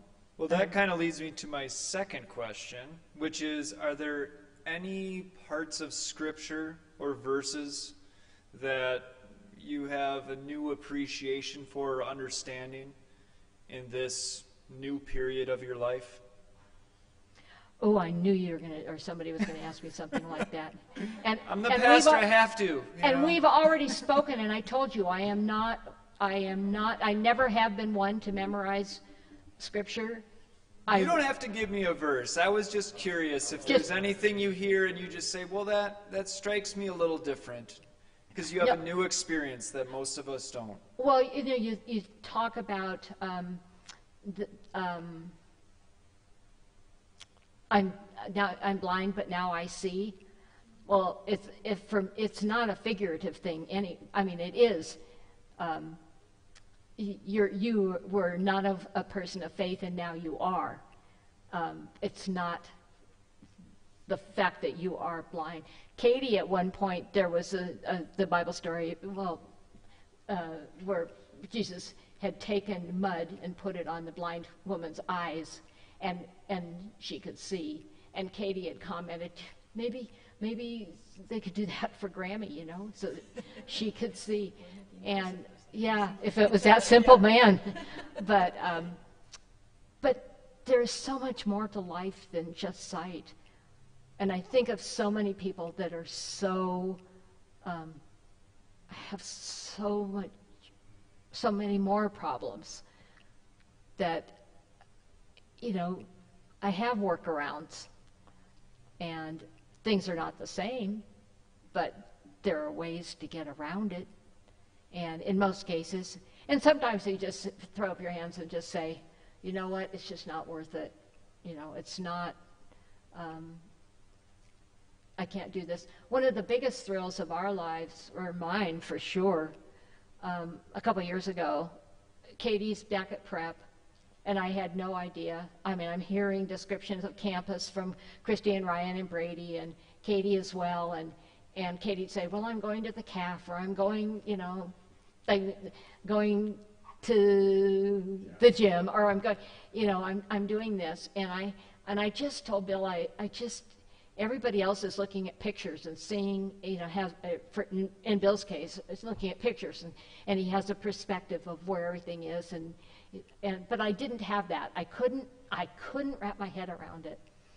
So we made the decision to go back and, and visit Katie um, at the end of her freshman year. And, um, oh, uh, yeah. Yeah.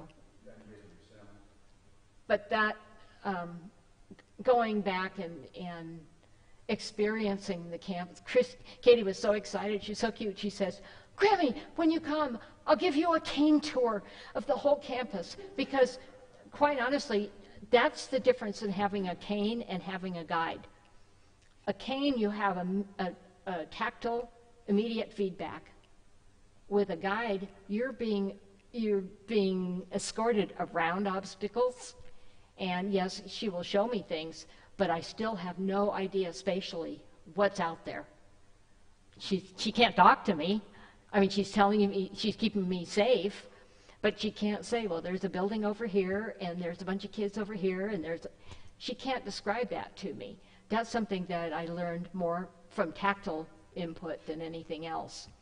So, um, as a, that was an amazing experience, and um, ah, and then we we also got to do some traveling coming back, which is something that we had not done for many many years. So that was an added bonus, but just to to just to be there, the hear the history of of really living the history of the wells and um, being in that chapel. Oh my goodness. And then at seminary to to be there when just at the beginning when they start the the um, the call service. Oh my gosh. I mean the hairs still they stand up on the back of my neck. Just uh, so thrilling so amazing. I just uh, i can't put a price tag on that. That was just just the epitome of everything. And, and then, of course, and Katie being there, and it was just, it was a whirlwind five days. I don't know if I could ever um, go at that pace again. It was, it was really grueling, but it was amazing. It was just wonderful. But I know that there will be a time, sadly enough, we are all going to be together again, and we will all be able to see, and that may be a good thing or a bad thing. For um, for me, it's going to be amazing to see Brady as a man with real teeth. Hopefully he doesn't still have his teeth. no, I know. And when his voice changes, then I'm really going to be really, oh my goodness, to hear his little excited voice. My Wednesday afternoons with Brady, who was, he was kind of struggling with reading a little bit, and um, then, then it was, you know, Christy's in school in, on Wednesdays an hour longer than he is. Well, luckily, our, the school isn't too very far from our house. So we would pick him up on Wednesdays. My Wednesday afternoons with Brady were amazing. The memories that we have, this little guy sitting at my feet just reading to me and enjoying the reading and the stories and oh my goodness, you can't put you can't put price tags on stuff like that. And it comes and you know the season's going to end. You know that there's going to be the time when he doesn't want to be there and be reading to you anymore. And you know that he's really not going to like reading anymore.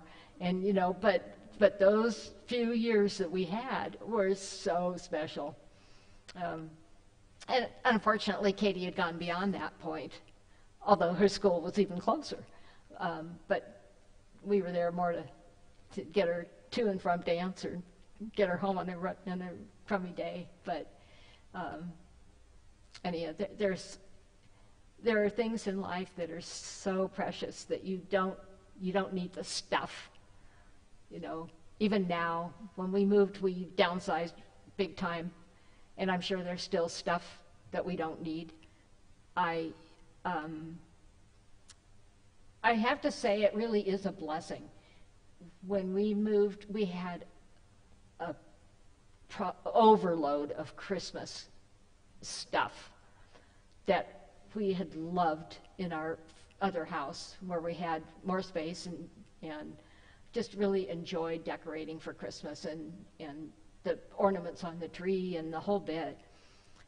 But when you get to a point where you can't see it anymore, it really, um, then, then I start thinking in different terms. I think, is it going to break? If it's going to break, I'm going to step on it and cut myself, or Joan is.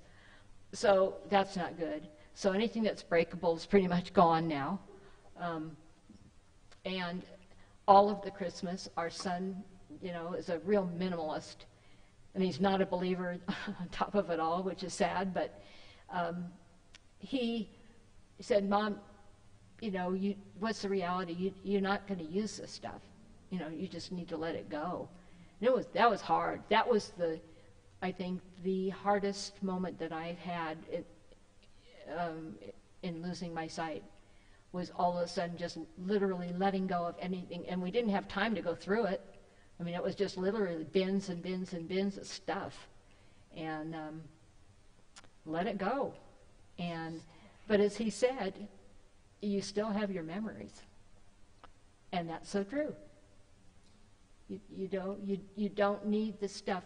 It was wonderful looking and enjoying and, and you know, having a memory just recounted to you just at a glance. But I still have the memories. I just don't have the thing to, to prompt them. They just come freely. Are there any other questions? Are you exhausted from all this talking? Okay. You did. Thank you so much. Yeah. woo-hoo. What was it?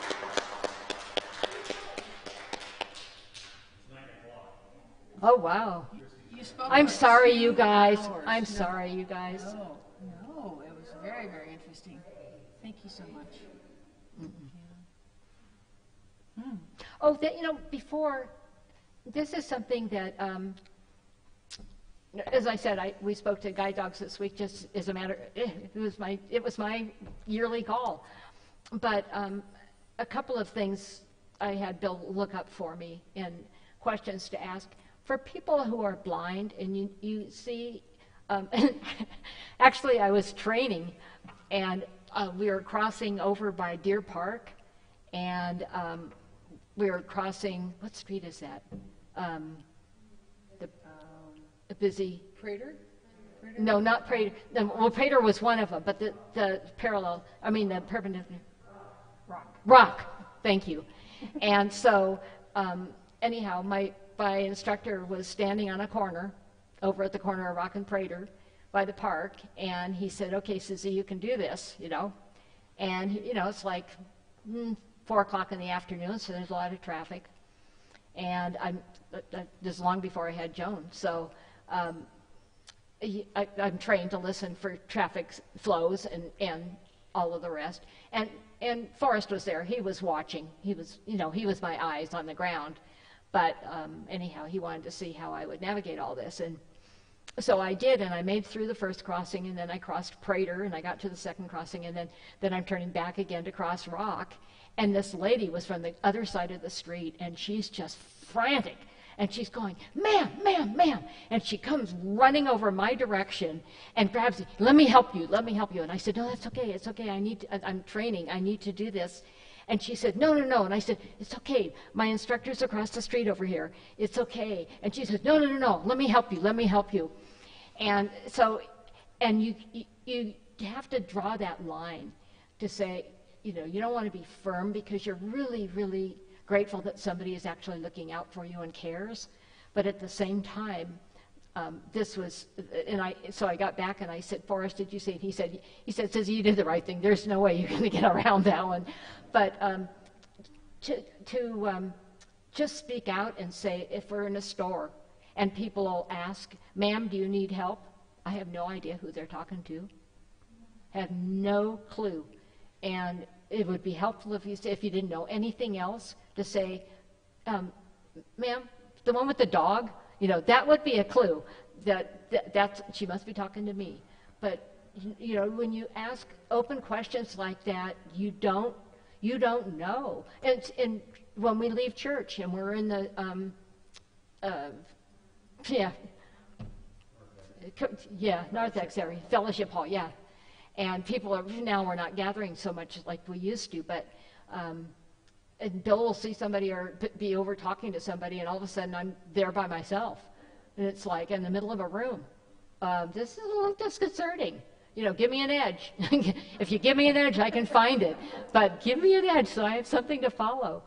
But, um, and, and, um, and, and Bill was saying, if you offer somebody who is blind, offer them assistance, and if they take it, you know, take their, you're going to take their right arm or elbow. I'm, so I'm going to be grabbing with my left hand and um, have them guide me that way. And so I actually hold at the elbow so that I can feel the body movements.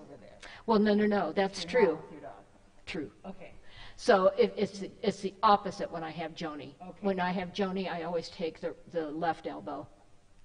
But um, that's how you can really assist somebody who's uh, visually impaired. Or, or, and you always ask, always just ask. Because people that are, are um, have limited vision or whatever, they know whether they need assistance or not. And if they do, they will accept it graciously and thankfully. But just, um, just, just communicate, just ask. Same deal with um, petting the dog, you know. Always, if you somebody with a with a guide, never, you know, try to go up and and try to pull the, never touch the dog's handle. Everything comes through me, so um, you tell me what you want me to do. I, this happened just if, when I said we got crossways a few days ago.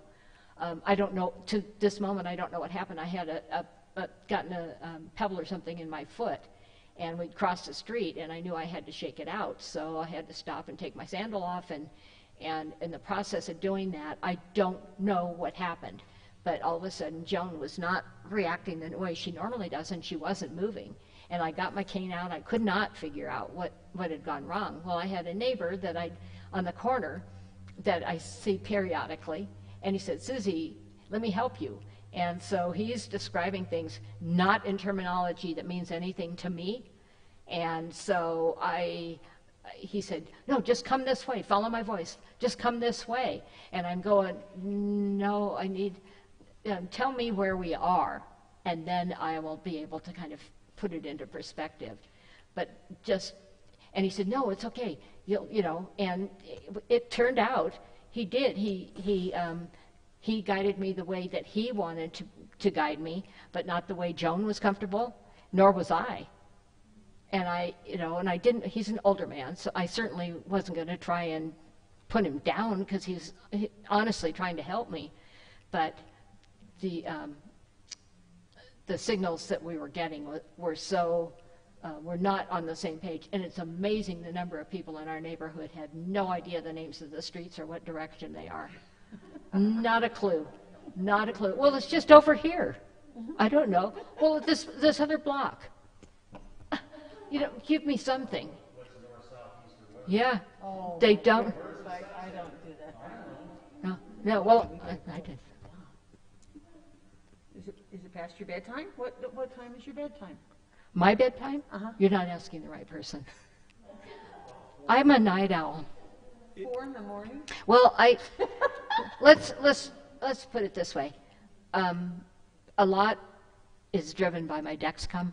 So if I don't go to bed, I mean, if I go to bed and my sugars aren't right, um, and then it alarms and it gets me out of a dead sleep, that drives me crazy. So I'd rather stay up and deal with it before I go to bed. So very often I won't go to bed until like two or three. Very often. But I'm, I'm not saying I'm not going to sleep, as I have a recliner and I will fall asleep in the recliner. But If you don't mind, can we close with prayer? Yes, Okay? yes. All right. Pastor's going to close in prayer. Let's all pray. Dear, dear Lord, thank you for Susie. Thank you for allowing all of us to know this wonderful woman with such a strong faith, such a wonderful perspective on her life. And Lord, we just ask that you continue to bless her, continue to lift her up, continue to shower her with many blessings, and, and continue to, to allow us to see her faith shine in all of our lives. Thank you, Lord, for this great blessing. In your name we pray. Amen. Amen. And thank you, Lord, for all of us, all of the people of the Springs. Amen. Amazing people. Amen.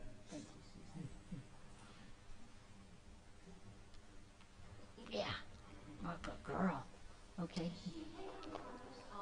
Do you want, um, do you want me to undo you? your Yeah, microphone? yeah, Okay. please.